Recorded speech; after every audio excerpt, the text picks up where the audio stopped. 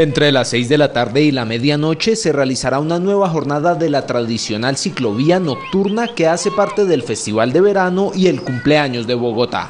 Lo que se está planteando es tener una red de ciclovías muy similar a la del domingo que le permita a los bogotanos disfrutar de la noche en bicicleta, en seis puntos como el Parque del Tunal, el Parque de los Hippies y el Parque Nacional se realizarán la tarde de aeróbicos y otra serie de ejercicios físicos, actividades que se mantendrán hasta las 10 de la noche. Sí, la idea es que va a haber varias actividades nocturnas, va a haber cine en el Parque de los Novios, va a haber diferentes encuentros entre los colectivos de bicicleta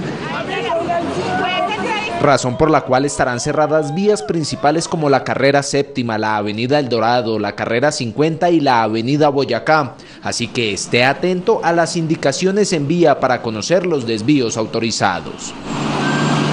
Poder conocer la ciudad, verla de manera diferente y pues eh, celebrar el cumpleaños a nuestra ciudad.